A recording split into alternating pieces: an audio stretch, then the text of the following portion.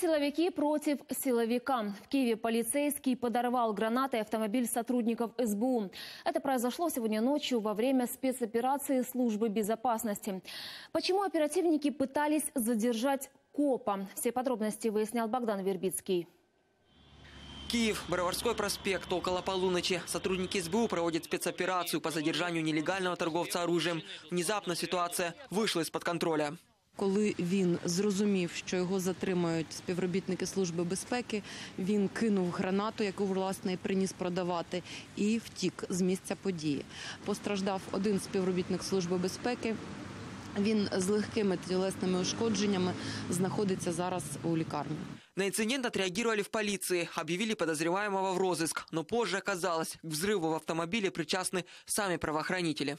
На жаль, це дійсно виявився співробітник батальйону особливого призначення поліції і колишній беркентовець, до речі.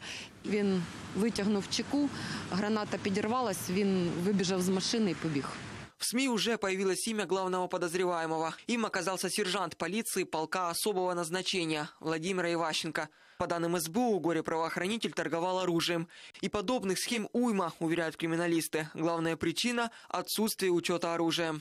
Це пов'язано насамперед з тим, що в Україні йде війна, є окупована територія, з якої е, на е, контрольовану територію потрапляє величезна кількість нелегальної зброї. Еще один канал поставок нелегального оружия – это сами правоохранители. После реформы полиции так и не удалось убрать нечистых на руку. З великою ймовірністю це група осіб, а не просто сержант. Це не просто поліцейський, а це людина, яка свого часу працювала в Беркуті, яка пройшла атестацію. Це те, що було фактично реформою. Если полицейским все-таки удастся задержать преступника, не исключено, что в деле появятся новые детали и звания. Він може розкрити багато прізвищ, які значно вище за статусом ніж він. Богдан Вербицкий, Евгений Пахальчук. Подробности телеканал Интер.